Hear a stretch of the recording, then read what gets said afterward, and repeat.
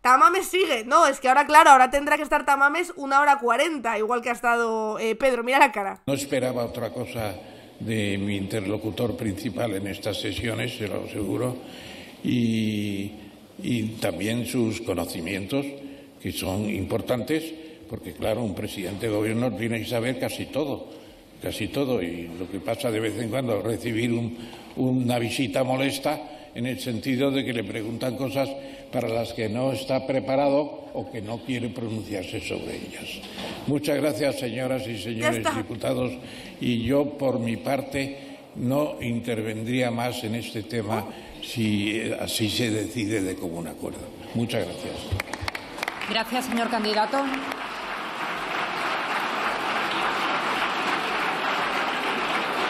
Le está diciendo le está diciendo a Pascal, muy bien, ahora te doy tu bocadillo, ¿vale? No te muevas de ahí, ahora te... Es que esto está siendo surrealista.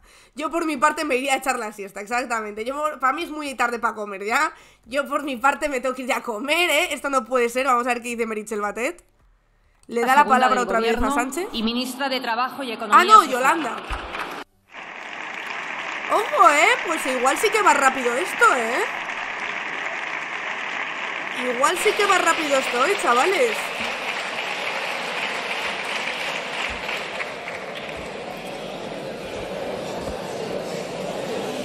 Madre mía, la verdad es que lo que no ocurra en la actualidad política de este país...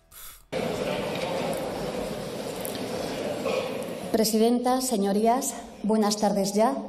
Profesor Tamames, gracias por su intervención.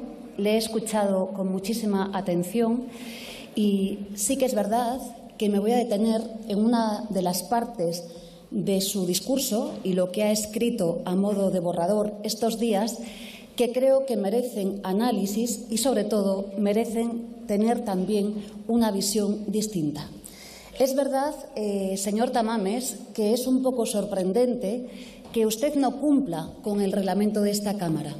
Es verdad que el artículo 113 de la Constitución española no indica que usted tenga que presentar aquí un programa de gobierno, pero también es verdad que las mociones de censura en nuestro país son constructivas y, por tanto, como dice y reza el artículo 177 de esta Cámara, usted estaba obligado a presentar un programa de gobierno y quizás... Lo que decíamos aquí, que las mociones de censura son para presentar un proyecto de país. Si a ti te parece que eh, es muy largo un discurso de una hora cuarenta, no perdona. Igual es que no te has enterado muy bien o no te han contado muy bien lo que tenías que hacer una moción de censura.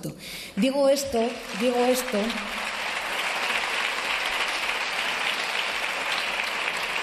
Digo esto, profesor Tamames, porque parece que usted está deteriorando la democracia, está convirtiendo esta moción en una moción destructiva que no lo es contra el Gobierno de España.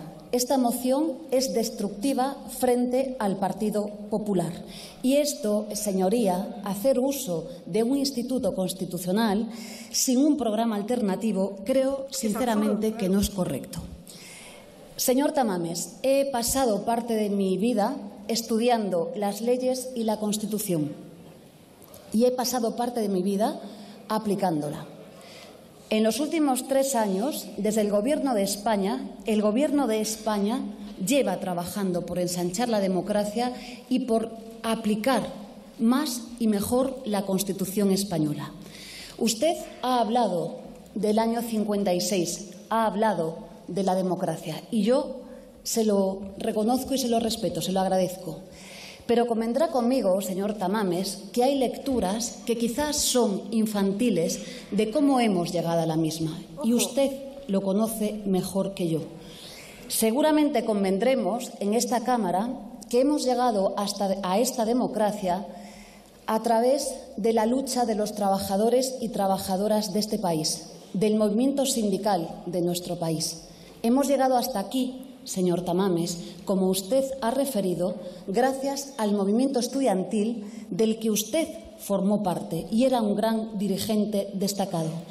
Hemos llegado también hasta aquí, señor Tamames, porque en aquel momento había un movimiento vecinal organizado que era espectacular, que sí, también trajo la democracia a nuestro país. La democracia no la trajo el emérito, dice por ahí Flynn. Importante, al movimiento democrático de las mujeres, aquellas mujeres invisibles que lucharon como nadie con denuedo para así hoy tener una democracia. Señor Tamames, déjeme que le diga que también llegamos hasta aquí. Me hubiera gustado ver la cara de Tamames cuando ha dicho lo de las mujeres. El realizador no está atento. El partido del que usted formaba parte, el Partido Comunista de España.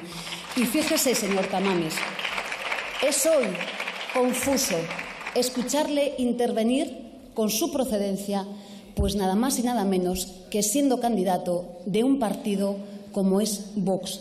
Señor Tamames, todo el mundo conoce quiénes fueron los padres de la Constitución.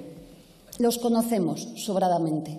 Pero podríamos decir hoy aquí que nuestra Constitución está huérfana de madres, a pesar de que fueron múltiples las mujeres que hicieron todo lo posible para que hoy tengamos el texto que aquí estamos defendiendo. Bueno, pues ahí está ese inicio de intervención de Yolanda Díaz, eh, un poco apostando por ese papel de las mujeres, que se olvidó también eh, durante la transición y se olvidaron de las madres de la Constitución, que dice por ahí Yolanda, también posicionándose así frente a Vox, ¿no? Diciendo, eh, no se olvide usted de que Vox, aparte de todo esto que les hemos contado, son unos machistas y lo que quieren es hacernos retroceder a las mujeres. Decís por aquí, eh, espero el momento en el que Tamame se interrumpe diciendo, a mí póngame cuarto en mitad. Exactamente. En algún momento va a ocurrir. Nosotros y nosotras nos tenemos que ir ya porque yo tengo que seguir trabajando. Mira la cara que se le está quedando a Tamames, ¿eh? Esa, la cara de... ¿Qué me está contando quién es esta señora que está aquí de repente?